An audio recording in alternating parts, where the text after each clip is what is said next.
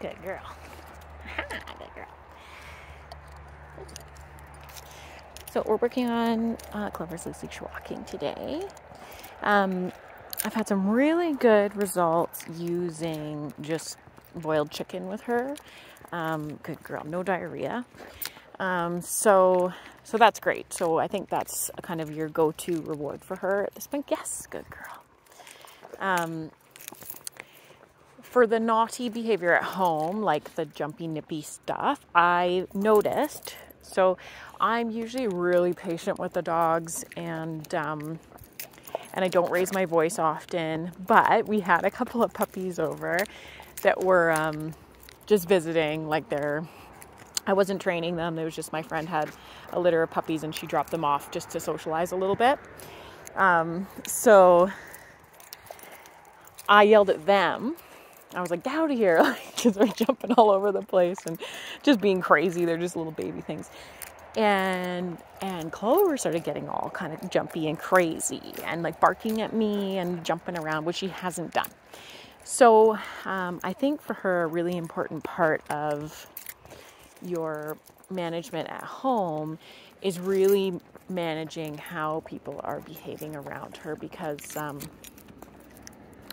she's quite reactive or she's reacting poorly to um, she's reacting poorly to um, being yelled at. And i think that may just be from um, you trying to cope with her as a puppy right? And so you just kind of get in the habit of um, get in the habit of like scolding her which doesn't mesh with her personality because she doesn't really she's not super sensitive to that. She's kind of like oh who cares? I'm just gonna bug you then. You know she's not like a super passive dog. So um so i think you know had that worked before in the past with other dogs it may have. Um, but but for her personality it's not a good fit. Um, so I, I i wouldn't be trying to yell at her to get her to comply. Um, I've been working on her responding willingly to going in her crate and jumping into the car and going in and out of rooms and stuff like that because she hesitates with everything. She um, has picked up the habit of like purposely waiting I don't know if she's looking for a certain kind of response or if she's just resisted resistant to doing it now because of some past experiences or whatever. Um, so I'm trying to teach her just systematically through um, slowly using the treats initially to get her in there. Um, so with the crate, I can take a video, but we started out just throwing treats in and now she's going in when I ask and then getting a treat after. And that's an important step that I like to do before the dog goes home because otherwise you're kind of stuck in a bribing loop because you don't know how to progress from there. So so we moved on past that point. Um, she, she's going in when I ask, and I'm going to get it really solid for you. So she'll go through. I'm going to use it the same thing in doors of the house. Like she does it at my front door. She stands there and hesitates. So I've been doing the same thing at the front door, just chunking out that piece of behavior and helping her go through. Now, that being said, some dogs do something location specific because they've been doing it. So if there's a situation like that at home, let me know because um, I can take more detailed videos. It's just something that I've noticed and is frustrating for me around the house. Like every time we come in the front door, she stands there and waits and refuses to come in. And I have to go out and I have to call her to me and leash her and walk her back in the house if she's not wearing a long line outside. And some to- some dogs, like if I put the long line on them and they come in a few times because I've grabbed the leash, they'll just be like, "Oh, okay, it's fine. We'll go inside after," because I give them a treat when they come in. But she's not like that. So, so I'm chunking it out and teaching her to come through the door willingly, um, and really, and really making that like a a specific trained behavior go through the door. Um, there's nothing wrong with that. I mean, you know, going through doors is important. I'm just wondering if she's doing that at home, like that, hesitating and um, and refusing to like enter or exit um, a location. So Um, so let me know and I'll make more detailed videos about it so that if you get home and you find that she gets stuck in a pattern, an old pattern, then you'll have kind of detailed instructions on how to how to work on it. Um, her leash walking is going quite well. So no concerns there. She's, um, I am holding treats here, so um, switching sides on me a little bit, but staying in heel. So I'm only feeding her on the left. I like them to walk on the left. I imagine you've been walking her on the right, and that's why she feels comfortable there.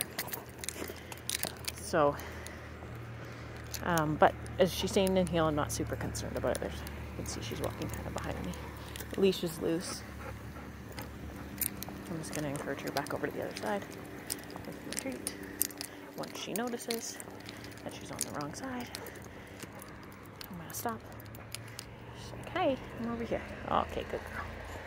Good dog. Good. Uh, really nice dog, though. No behavior issues that I'm concerned about. I think the handling just needs a quick shift at home. Um, some of the things that I've taught her should help, and she's gotten out of the habit of doing that stuff.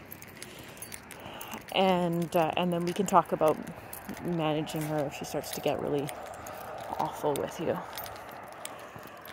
because um, she hasn't really displayed a ton of what you've uh, mentioned the nipping and the jumping. She, she, she nipped me once outside when she was playing with the other dogs and she was excited and she kind of got jumpy and annoying twice.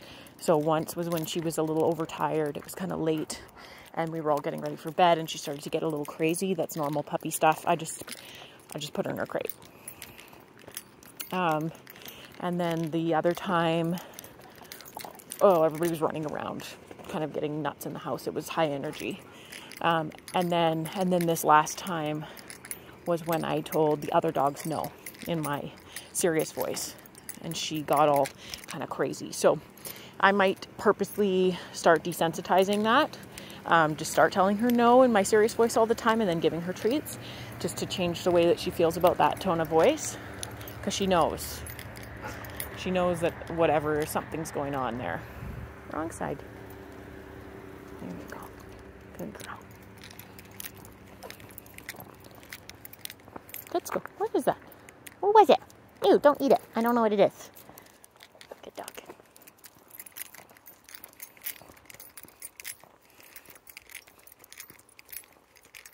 Good girl. Oops, slow down. Yes, good girl. So if she ever pulls, I'll turn around and walk the other way. She doesn't pull a ton, but I'll turn and walk this way.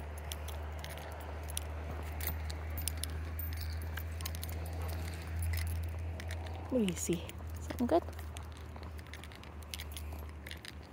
She gets really excited and really public areas with lots of people and dogs.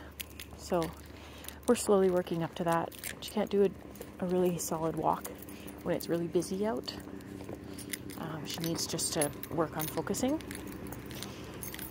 So uh, we're working up to that as well.